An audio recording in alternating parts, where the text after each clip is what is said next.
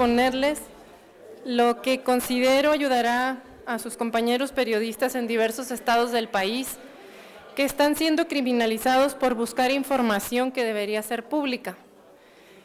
Este día presenté un punto de acuerdo por el que se pide a los congresos de 21 entidades federativas que deroguen de sus códigos penales los delitos denominados de halconeo, los cuales ya han sido declarados inconstitucionales por la Suprema Corte de Justicia de la Nación. En términos generales, el halconeo se refiere a aquellos actos o conductas tendientes a buscar y obtener información de instituciones o corporaciones de seguridad pública sobre sus actividades o labores en general. Por lo ambiguo de su redacción, en la práctica se han utilizado para limitar el derecho de acceso a la información con fines periodísticos y violentar el derecho de los comunicadores a obtener información pública con el pretexto de que se trata de información reservada. Cabe recordar, como parte de las acciones para combatir al crimen organizado, algunos estados del país establecieron en su legislación un conjunto de mecanismos en el derecho penal para mitigar el fenómeno de la violencia social. Uno de ellos fue la adopción en los códigos penales estatales del delito comúnmente conocido como halconeo. No obstante, algunas legislaturas estatales, cuando legislaron en materia de seguridad pública, han limitado el derecho de acceso a la información y restringido la libertad de expresión. Lo anterior implica que si un periodista realiza algún trabajo de investigación sobre alguna institución pública o corporación de seguridad pública, pueda ser acusado por este delito. Al utilizar este precepto legal como un pretexto para no entregar información pública con fines periodísticos o para acusar a los reporteros de que buscan información de ser halcones del crimen organizado, se violenta el derecho de la libertad de expresión y el acceso a la información, además de transgredir y el acceso y además de transgredir los principios de seguridad jurídica y exacta aplicación de la ley penal que se contemplan en la Constitución y en los tratados internacionales con los que México se encuentra obligado a cumplir.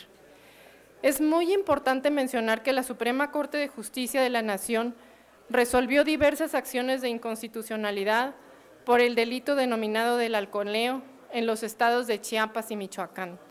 Por ejemplo, en el estado de Chiapas resolvió la acción de inconstitucionalidad interpuesta por la Comisión Nacional de Derechos Humanos el 10 de abril del 2013 contra el artículo 398 bis del Código Penal Estatal que a la letra decía, se impondrá una pena de 2 a 15 años de prisión y multa de 200 a 400 días de salario mínimo a quien realice actos tendientes para obtener información pública de los cuerpos de seguridad pública. La Suprema Corte argumentó que ambas legislaciones afectan a los periodistas, comunicadores y reporteros al criminalizarlos por buscar información relativa a la seguridad pública y a la procuración de justicia. En otras palabras, consideró que los delitos contemplados en las legislaciones penales en contra del halconeo están más enfocados a contener a la prensa que a la delincuencia organizada, con lo que contravienen la libertad de expresión y el derecho al acceso a la información. Quiero precisar que con este punto de acuerdo no se pretende que el delito del halconeo quede impune cuando se ha realizado para realmente beneficiar al crimen organizado, pues la propia Corte determinó que existen tipos penales y modalidades específicas para sancionar la ayuda o colaboración en la comisión del delito del halconeo, como es el encubrimiento, la coautoría o complicidad que están previstas en las legislaciones penales. Es por ello que presenté un punto de acuerdo para que la Cámara de Diputados exhorte a los congresos de los estados de Chiapas, Chihuahua, Coahuila, Colima, Durango, Estado de México, Guerrero, Hidalgo, Jalisco, Nayarit, Nuevo León, Oaxaca, Puebla, Quintana Roo, San Luis Potosí, Sinaloa, Tabasco, Tamaulipas, Veracruz, Yucatán y Zacatecas a derogar de sus códigos penales los delitos denominados del halconeo, mismos que en la práctica los gobiernos estatales han utilizado para limitar y violentar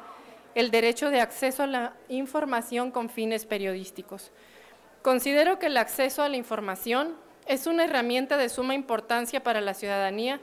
ya que promueve la construcción de sociedades más justas, equitativas y coadyuvantes